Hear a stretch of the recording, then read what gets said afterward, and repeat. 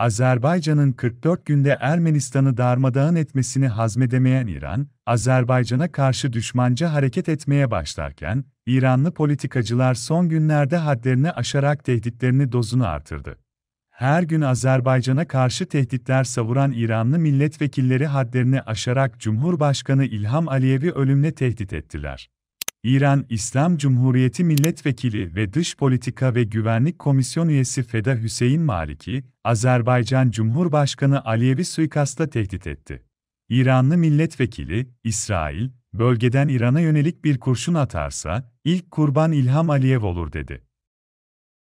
İran İslam Cumhuriyeti Milletvekili ve Dış Politika ve Güvenlik Komisyon üyesi Mahmut Ahmedi Bigeş'te, Türkiye maceraya ve Azerbaycan'da acemi davranışlarına devam ederse Karabağ ve Nahçıvan'ı asli toprakları olan İran'a geri katarız diyerek tehdit etti.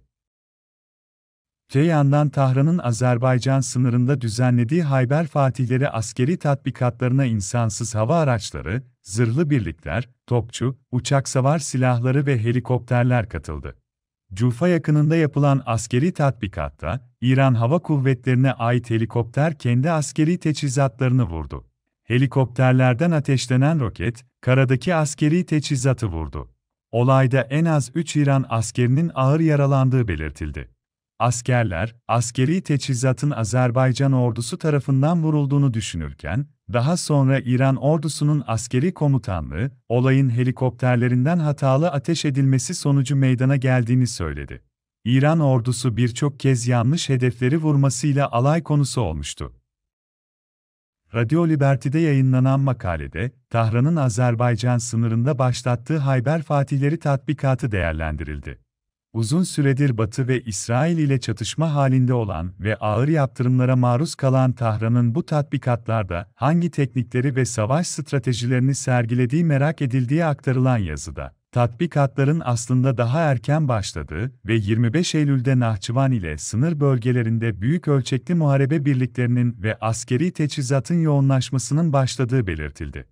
Makalede, daha önce 20 Eylül tarihinde, Tahran Araz Nehri kıyısında birkaç zırhlı ekipler gece eğitimi ve devrim muhafızlarının 31. Birliği ile Bakü'ye askeri ve siyasi bir mesaj verilmek istendi. Devrim muhafızları kara kuvvetlerinin görevi, Azerbaycan Cumhuriyeti'nden Erdebil şehrine ve Doğu Azerbaycan eyaletine yönelik olası bir tehdidi önlemek denildi.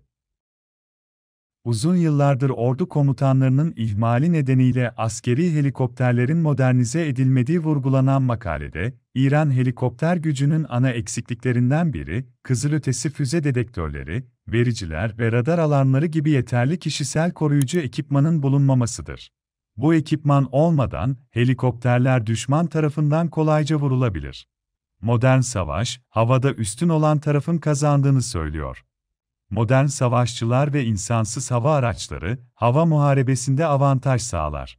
Düşman radar ve savunma sistemlerinin imhasında savaş uçaklarının ve insansız hava araçlarının kilit rol oynadığı belirtiliyor. İran Hava Kuvvetleri, operasyonel, askeri ve savaş uçakları bakımından Azerbaycan'ı geride bıraksa da Azerbaycan ve İsrail yapımı Harop ve Harpi intihar dronları ve diğer insansız hava araçları onu herhangi bir havava savaşında daha güçlü kılıyor denildi. Makalede, Hayber Fatihleri tatbikatının senaryolarının, böyle bir savaş stratejisinin modern savaş alanında yeri olmadığını gösterdiği vurgulanarak, saldırı ve intihar dronlarının kullanıldığı modern muharebelerde 1960'ların taktikleri ile galip gelmenin zor olduğu da belirtilmektedir denildi.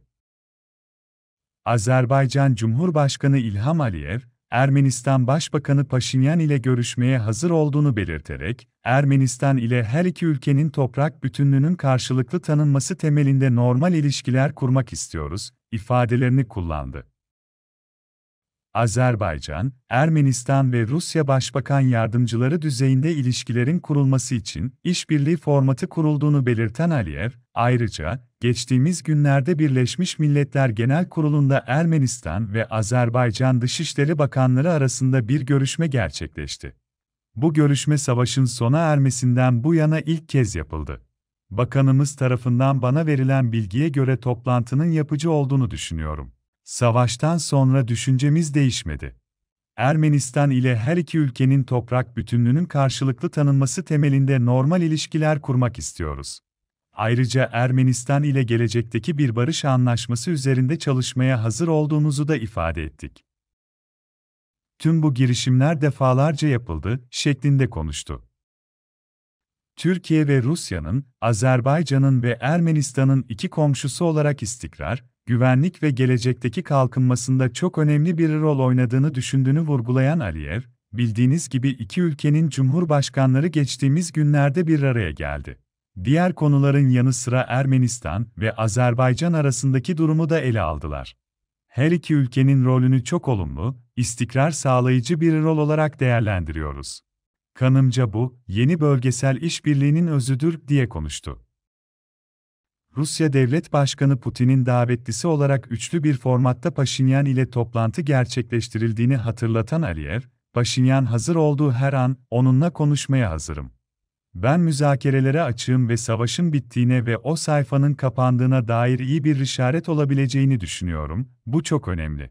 Çünkü Ermeni siyasetinde intikam alma girişimlerini, gelecekte tarihi ve uluslararası hukuk temelinde tanınan topraklarımızın geri alınmak için yaptıkları planları halen görüyor ve duyuyoruz, dedi. Cumhurbaşkanlığı Savunma Sanayi Başkanı İsmail Demir, Irak'ın barış ve istikrarı konusunda atılan adımları desteklediklerini bildirdi. Demir, Irak'ın başkenti Bağdat'ta yaptığı temaslar sonrası Irak Savunma Sanayisi Başkanı Muhammed Derracı ile ortak basın toplantısı düzenledi. Irak ile birçok alanda iyi ilişkilerin geliştiğini ifade eden Demir, savunma sanayisi alanı da bunlardan birisi olacak. Irak'ta barış ve istikrar alanında atılan adımlara destek olacağız.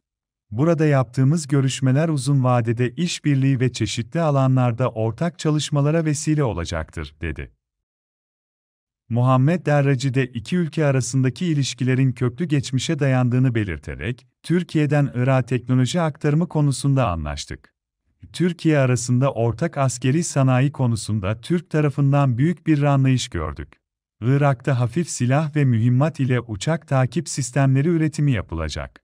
Güçlerimizin sınır ve terör operasyonlarını izlemek için güvenlik takip balonları üretimi için ve ortak mutabakat saptı imzalandı diye konuştu.